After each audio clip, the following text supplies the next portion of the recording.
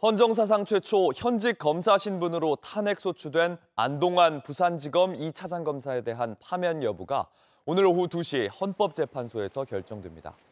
지난해 안 검사를 탄핵 청구한 국회 측은 안 검사가 탈북민 유우성 씨를 보복 기소하며 공소권을 남용했다고 주장했습니다. 유우성 씨는 지난 2013년 간첩 혐의로 기소됐다가 국정원의 증거 조작이 드러나면서 누명을 벗었습니다. 안 검사는 적법 절차에 따라 수사했고 실체적 진실을 판단받으려 기소한 거라고 항변했습니다. 아침엔 앵커 정재우입니다. 지금 이 기사 가장 먼저 매일 아침 7시 반에 보실 수 있습니다. JTBC 뉴스 채널을 구독해 아침엔과 하루를 시작하세요.